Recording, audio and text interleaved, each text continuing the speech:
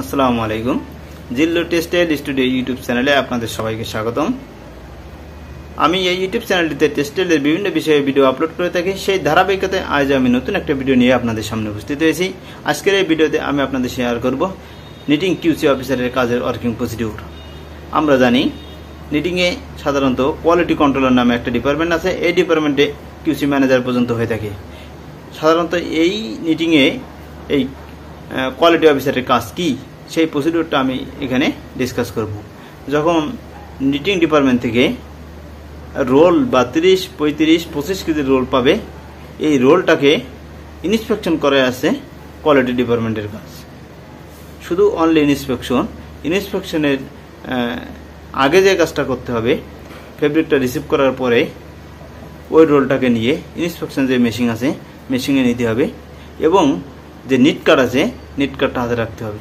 বা তাদের কাছে ডকুমেন্ট থাকবে, এই ফেব্রিকটা কত কাউন্টে তৈরি করা হয়েছে এবং কোনো শেড আছে কিনা, এবং এই ফেব্রিকটার ইয়ানের, ইয়ান স্টেজে পাশ আছে কিনা, ইয়ান পাশ আছে কিনা, এগুলো চেক করে দেখবে আগে যে ইয়ান পাশ আছে কিনা, তাদের কাউন্ট ঠিক আছে কিনা লট ঠিক আছে কিনা, তারপরে দেন এরা ইন্সপেকশন শুরু করবে। ইন্সপেকশন করে শেড ভ্যারিয়েশন আছে কিনা নিডেল লুপ আছে কিনা নিডেল মার্ক আছে কিনা, পাটটা আছে কিনা নিডেল হোল আছে কিনা অয়েল স্পট আছে কিনা ক্রিস মার্ক আছে কিনা, এইগুলো সাধারণত লক্ষ্য করবে এবং এগুলো মার্ক করে একটা ফোর পয়েন্ট রিপোর্ট করবে। ফোর পয়েন্ট রিপোর্ট কি? এই বিষয়ে যদি আপনাদের ধারণা না থাকে তাহলে জানালে এই ভিডিওর ভিডিওতে জানাবেন।